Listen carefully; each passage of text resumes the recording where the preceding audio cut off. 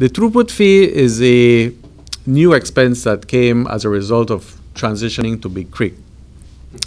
And that is one, as we have pointed out to farmers, and, and we're uh, providing some information on the general public so they under, and the farmers so that they understand what is the throughput fee. The throughput fee is a charge paid to the port for every ton of raw sugar or molasses shipped through the Big Creek port.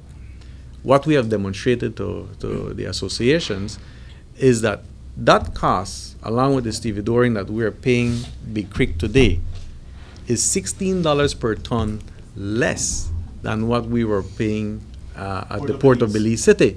And so there have been significant savings when you take that plus the ocean freight that is lower because we're loading vessels much faster through the port of Big Creek. We've shared that this year, farmers shared, farmers shared alone, $3.1 million from us moving to Big Creek. So those throughput charges are what we're paying Big Creek, but those costs, along with the, the ocean freight, are significantly lower than what we were incurring and paying through the port of uh, uh, Belize City.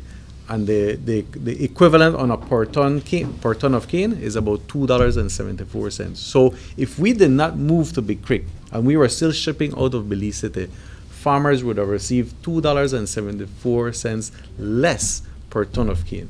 So all these things, I think they, they, they it, it goes back to what I said. They, they only give one side of the, the coin, but they don't paint the full picture. Uh, and I think that's been something that I, I think everybody has observed is very prevalent. And that's why we said, look, let's go to the mediator, we'll present our facts and see if we can make progress through that front.